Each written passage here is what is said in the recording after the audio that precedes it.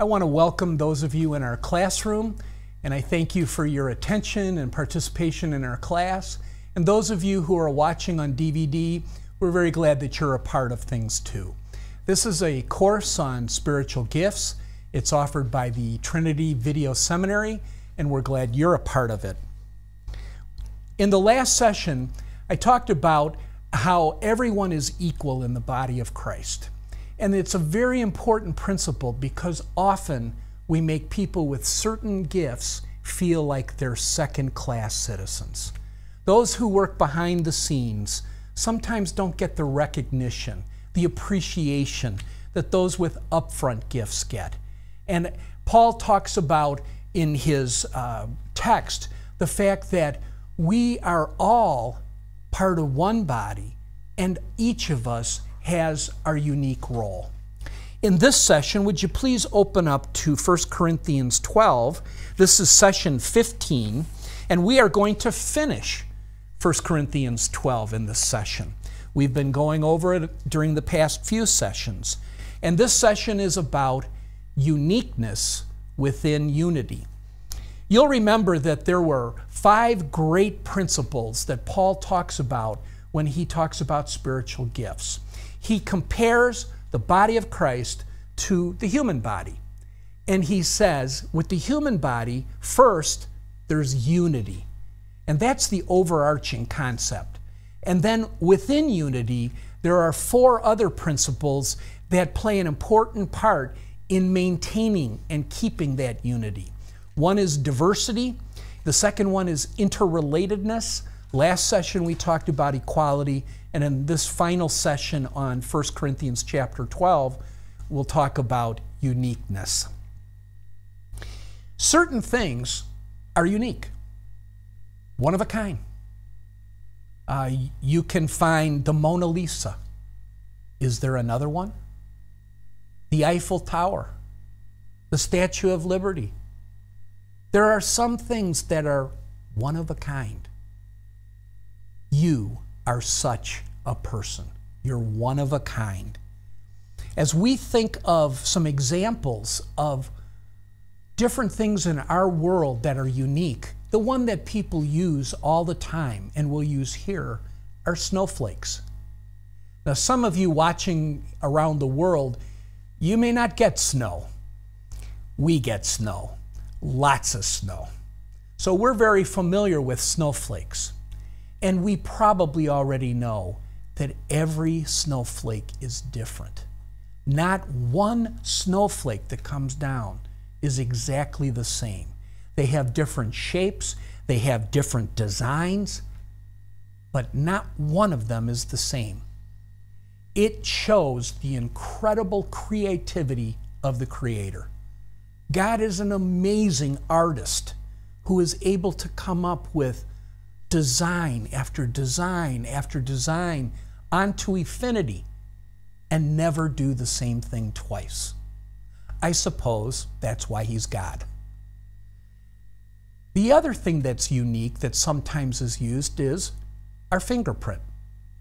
And that's why, very often, when someone is arrested for a crime, the first thing the police do is fingerprint them. And then they compare the fingerprint with fingerprints found at the scene of the crime. Or they may compare the fingerprints with a vast database of fingerprints located at the police headquarters to see was this person involved with another crime? Sometimes we use fingerprints for a far better reason. Often, little children are fingerprinted so that if they go missing, if they're abducted, if something bad happens, that we can identify who that person is. And then the final one I want to mention may be one that you have not heard of before, but the eyeball is unique. Each one unique. And each of yours different from everybody else's. Which is why, as we've seen in so many movies, sometimes they use a person going up to an eye lens, having a laser shine into their eyes and matching up. Is that the person? because you can't duplicate it. The eyeball is unique in its shape, in its design, in its perforations, in its uh, misperforations, and the mistakes. You are one of a kind in so many ways. Well, each spiritual gift is unique, but each one of them is interrelated, and each one of them helps to create unity in the body of Christ. As we go to the final passage, we'll be talking about unity and we'll see how Paul ties this all together. If you haven't done so already, would you please open your Bibles to 1 Corinthians chapter 12? And we're down at the very last passage, verses 27 down to verse 30. And I'll read the entire passage, but you please read along with me silently in the classroom. And if you want to read out loud at home, fine with me. But let's read. Now you are the body of Christ, and each one of you is a part of it. And in the church, God has appointed, first of all, apostles, second, prophets, third, teachers, then workers of miracles, also those having gifts of healing, those able to help others, those with the gifts of administration, and those speaking in different kinds of tongues. Are all apostles? Are all prophets? Are all teachers? Do all work miracles? Do all have the gifts of healing? Do all speak in tongues? Do all interpret? But eagerly desire the greater gifts. In this passage, he mentions a number of gifts, but he also mentions a number of roles or offices. Please notice along with me as we look down to uh, the section in verse 28, he says, apostles. He doesn't say apostleship. He's talking about the office or the role of apostle. And then he does the same thing with prophets, not prophecy, teachers, not teaching, workers of miracles rather than just miracles. And those having the gifts of healing, he doesn't mention healing by itself. And all of the rest of them uh, are gifts. But in those first few, they are special offices in the body of Christ, special roles that people fulfill within the body of Christ. Paul begins this section with a grand culminating statement, one that we have heard kind of interwoven as though it were a thread running through the different parts of the Bible. He's saying, You are one, but you are many. I love this part where he, to make his final point, makes this authoritative declarative sentence Now you are the body of Christ, which in fact reinforces what we've said previously. All of us are the body of Christ. It's people. It's you and me. Not only that, it's everyone who has ever trusted Christ. And it's everyone who will trust Christ in the future. We are the body of Christ. And each one of you is a part of it. We're one, and yet we're apart. And we should always feel that we're part of the body of Christ. It is a wonderful thing in life to be part of something greater than yourself. God has created us to have a purpose in life. When we don't have a purpose, bad things happen. In Proverbs, it says, where there is no vision, the people, they begin to fall apart. They need a vision. They need a picture, something bigger than themselves, something they can see. I'm contributing to the greater good. In the book, The Purpose Driven Life, Rick Warren, the author, begins the book with one of the most famous first sentences of any book It's not about you.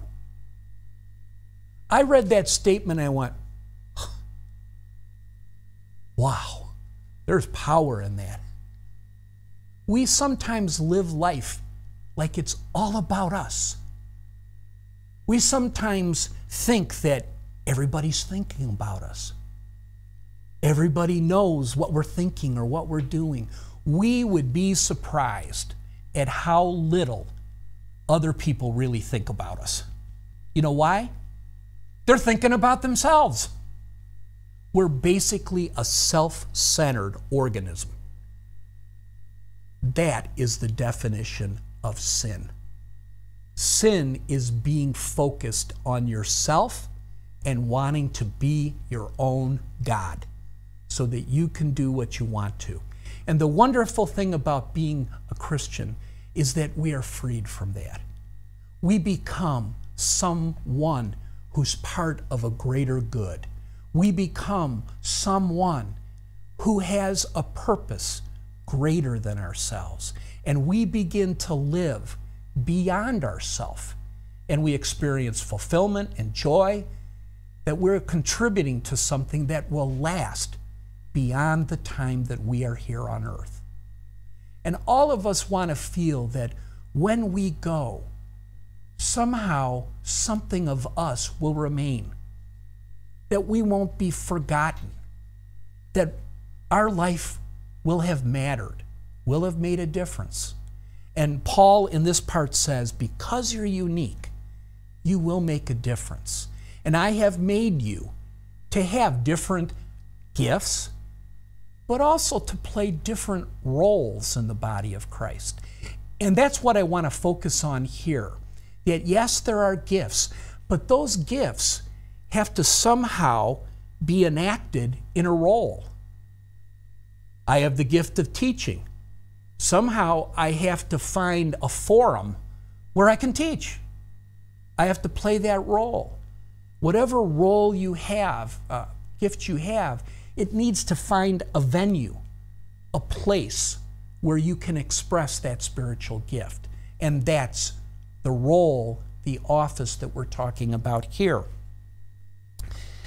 Now, in this next part, Paul lists a whole bunch of things, and when you read it, you may think, huh, this must be listed in order of importance.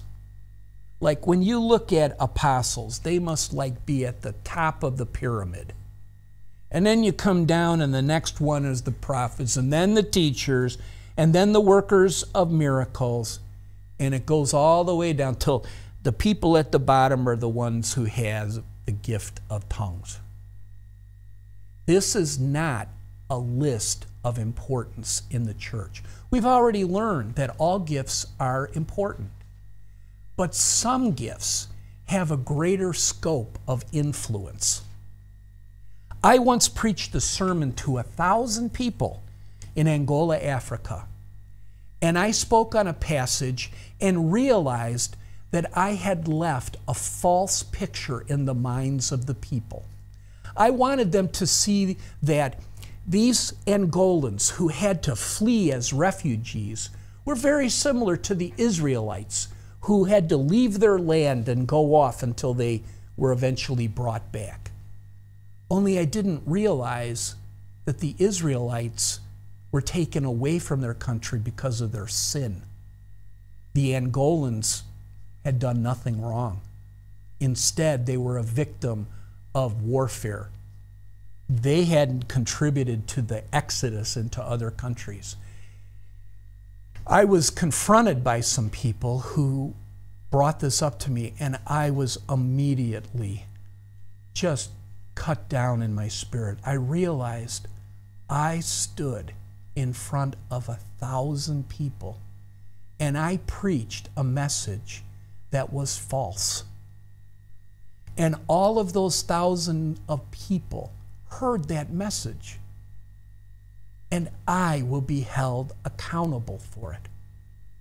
Which is why the Bible says, Not many of you should be teachers, for you will be held to a higher standard. See, the influence that I have, the scope I have, is greater than the scope of someone who perhaps has the gift of helps. It isn't that one is more important, it's how many people does God allow you to touch and to help transform in your ministry. It's a different role. Not better, not worse, equal, unique. And it was very sobering for me. And I said to myself, I will never again stand before people and preach a message that is false. I will make sure that what I say is the truth. Of course, I'm human and I may still make mistakes. I went and I apologized to the pastor of that church, and he said two things to me that I will never forget. This is the body of Christ working together. This was his unique gift, and he gave it to me. He said, Steve, in Angola, sometimes we eat fish. And sometimes a part of the fish is rotten. We just cut that part out. What you preached was the rotten part of the fish. As we continue, I will make sure we just cut that out. And I thought, wow. And then he went on and he said to me, Steve, promise me that you will not give up teaching. Because frankly, at that moment, I thought, ah, I'm never going to teach again. This is too much of a burden. I don't want to be responsible for teaching false doctrine. There are too many false teachers. I don't want to be one of them. He said, You have a gift. Don't give up. And then he went to Philippians in chapter 3 and he pulled up some verses that I had used in my sermon and he said, Forget what is behind and press on towards what lies ahead. Press on. And he, he gave me the courage to be able to teach again. And I'm very grateful to him. This is the body of Christ in action. I had fallen. I felt terrible. I was going to give up. And this pastor came and basically said, It's all right. You know, we've all screwed up. We've all made mistakes. We'll just cut that part out. We'll, we'll fix it. But you don't give up. We each have a unique place, and this pastor gave me the reason to continue. So the gifts are not listed in order of importance, they're listed in terms of the scope of responsibility. How many lives are touched? I mean, let's face it, a pastor standing in front of a mega church of, as in my church's case, 30,000 people during a weekend. I'd say that's a pretty big scope of responsibility. Or take a preacher who has a program on TV where he preaches the gospel. I don't mean one of, one of those flim flam guys who says, touch the screen and send me $50 and you'll be healed. I mean the people really preaching the gospel. Think of the millions of people they're reaching.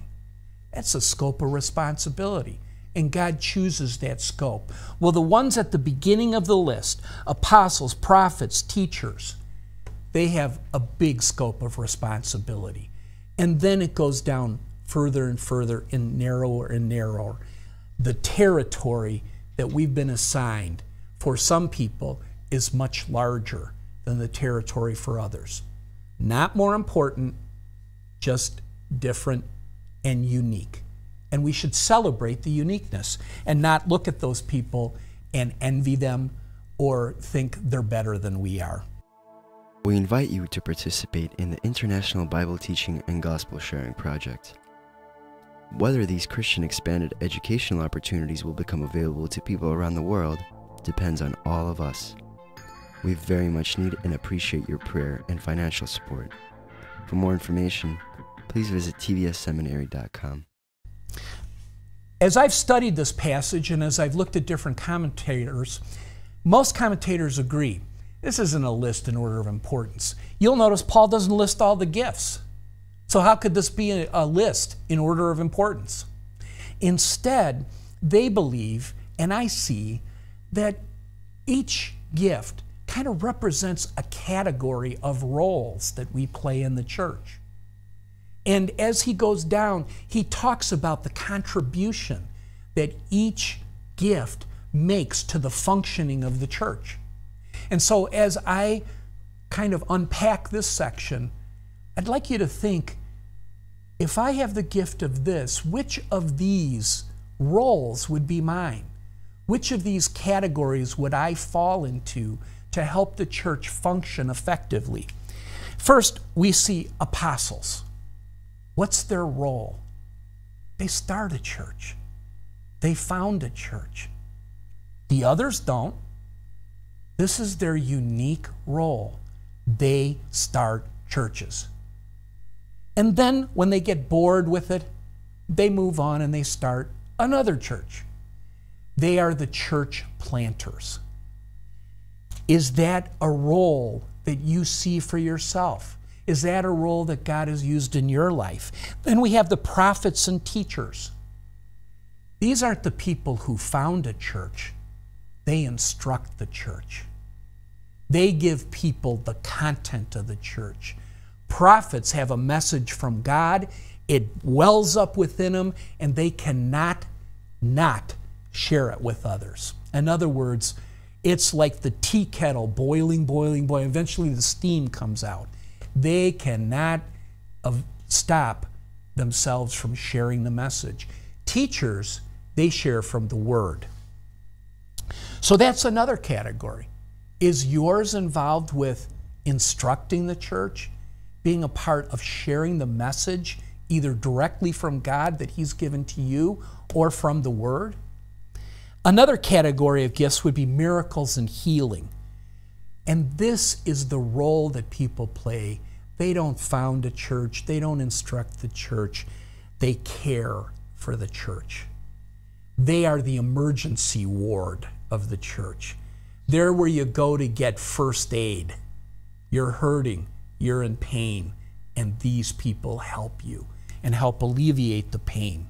One side is the miraculous.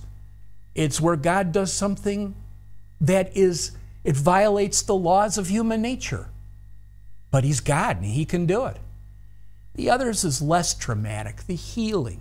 The people who come and they work through problems with you and they help you address situations where you don't think you can face it yourself.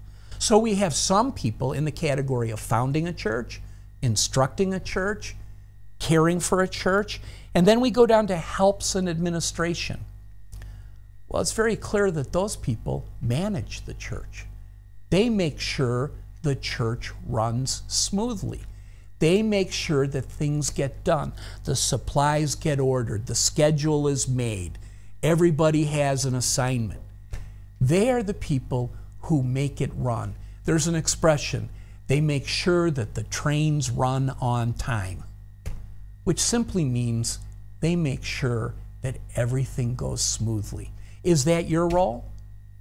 Is your role to be someone who helps the church run smoothly, efficiently, effectively? So we have gifts of founding the church, instructing the church, helping to care for the church, and then those who make sure that they manage the church well. And then the very last one is tongues. And I believe that that one represents informing the church of very, in very special circumstances. So their role is, for some reason, God has given them a message, and they unknowingly speak a language they are unfamiliar with.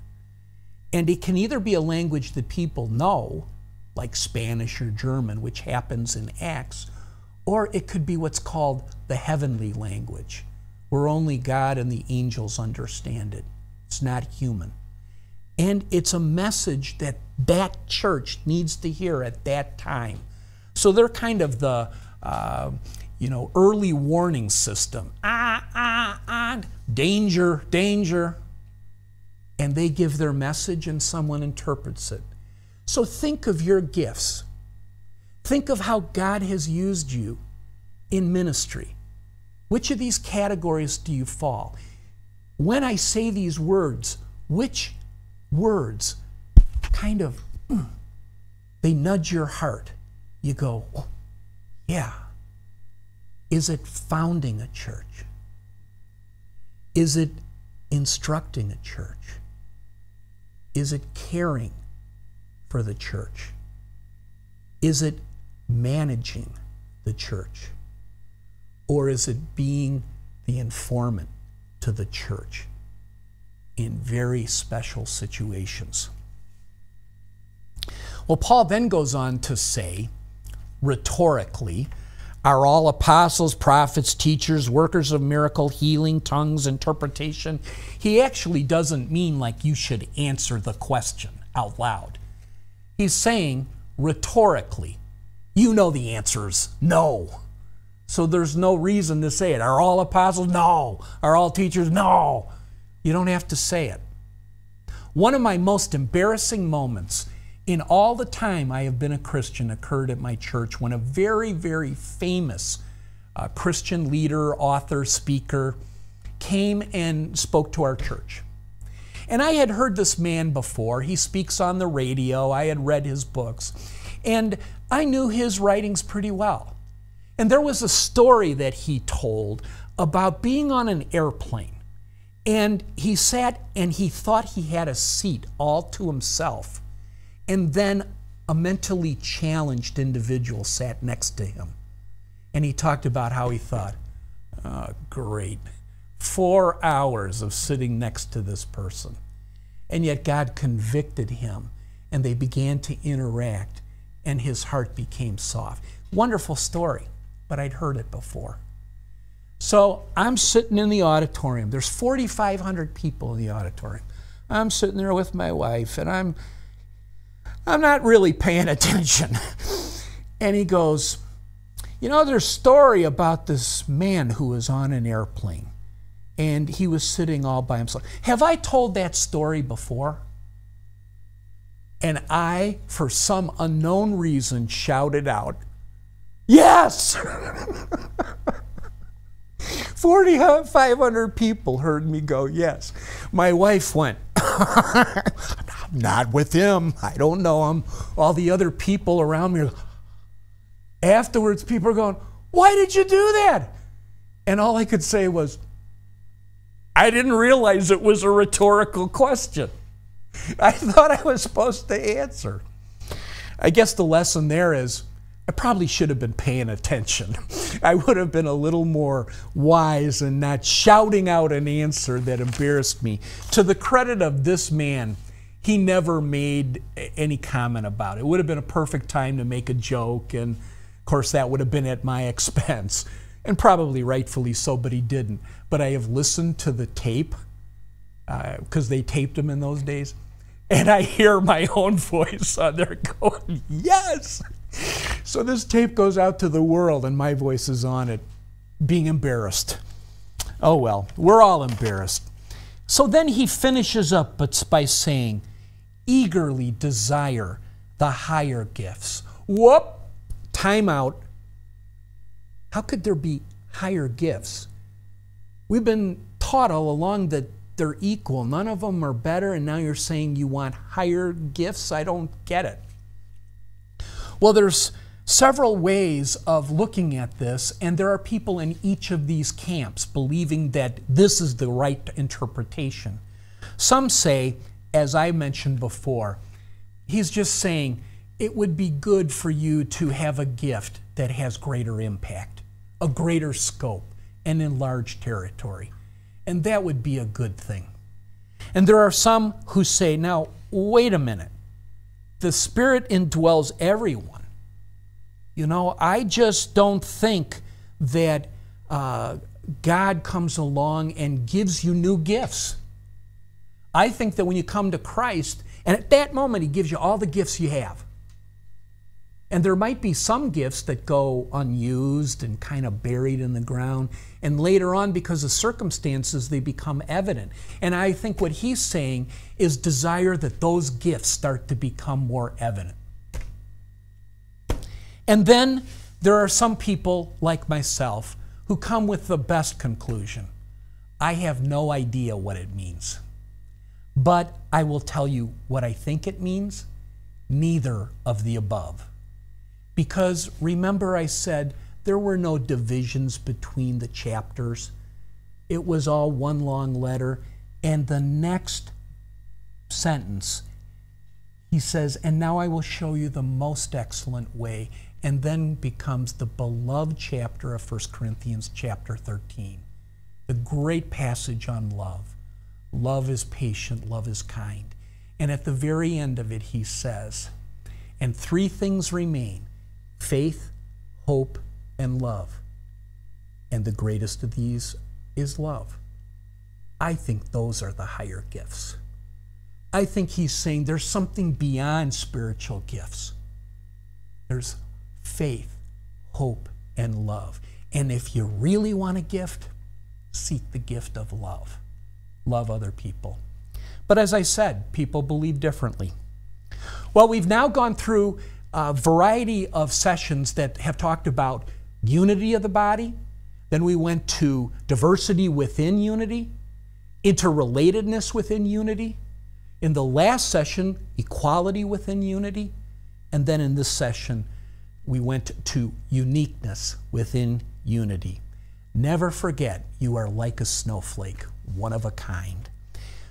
And in the next session, we're going to start looking at the individual gifts. Yay! We're finally going to get there. We've laid the theological foundation. It's time to look at each gift. Please join us.